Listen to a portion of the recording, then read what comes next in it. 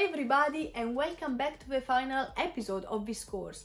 I'm Sara and today I'm gonna walk through my favorite resources I use as a web designer and Webflow developer. While you watch this episode, I would like to know what your favorite resources are, so leave everything in the comments. Before we start, um, consider subscribing so you can get notified every time the next episode comes out. Done? Okay, now let's get ready. This is pretty obvious. The Webflow University is absolutely the best place to learn how to use Webflow from beginner to advanced level. Here you can find hundreds of free videos that can help you with everything from freelancing, working with clients, building a portfolio or creating uh, animations in After Effects. Everything you need is here. I know it takes time to watch uh, all these tutorials, but I would really recommend to select uh, only the courses you actually need and watch them in maybe a day. For example, last year before I went traveling to Vietnam, I downloaded a bunch of tutorials to watch while I was on a bus, flight or a train. Honestly, I don't like tutorials. I rather spend more time uh, learning how to do these things by myself. But uh, especially if you are a beginner, I highly recommend learning from experts. The second one is a YouTube channel called uh, Flux by Ran Segall.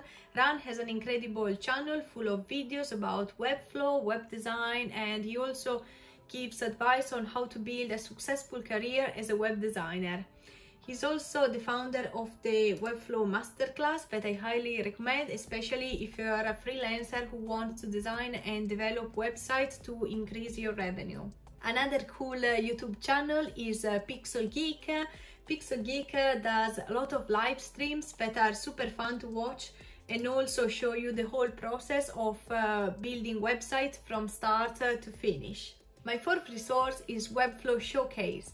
Here you can find tons of amazing websites built by other designers that you can open up in Webflow or clone directly into your projects. How cool is that?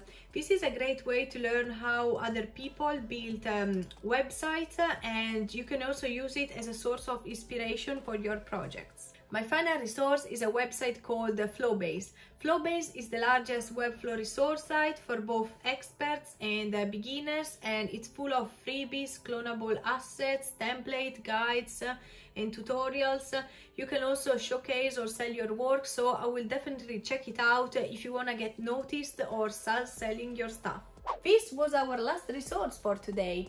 I really hope you enjoyed watching this series. I know there was uh, a lot of information to take, but uh, I really hope you enjoyed everything. And if you have any more questions, just let me know everything in the comments. And as I mentioned at the beginning, this video is not sponsored by Webflow, but uh, I'll be super happy if you just uh, like this video, subscribe to the channel and share it with your friends as it really helps to support this channel. Alright, thank you again for watching and I'll see you in the next video. Ciao!